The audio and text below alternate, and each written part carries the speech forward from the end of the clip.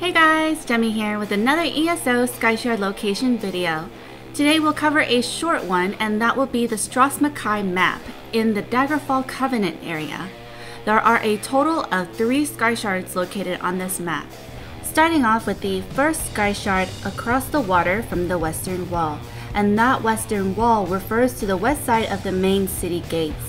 Um, there is a way shrine to use as a marker on the map and from there you just simply want to head south along the water's edge and you'll be able to find it sitting on top of a rock.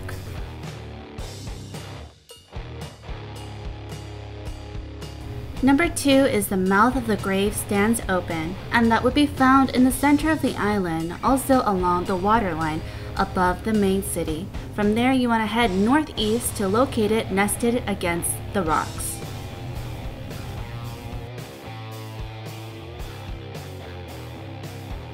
The third sky shard, called Crash Through a St. Port's Roof, is located within the small town of St. Port, which is in the southmost part of the island, Stros M'Kai. Take the closest way shrine, then head to the right into the town, and there you'll find a building within its center.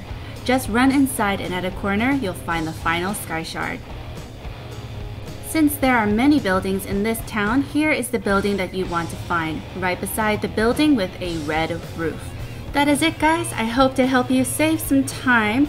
Also, if you would like to find more Sky Shards, click the easy link in the center for the Stonefall Sky Shard locations. If you'd like to stay updated with the latest videos as soon as we upload them, go ahead and subscribe with the link on top. And feel free to find me on other forms of social media such as Twitter, Facebook, and more with all the convenient links listed in the description box below.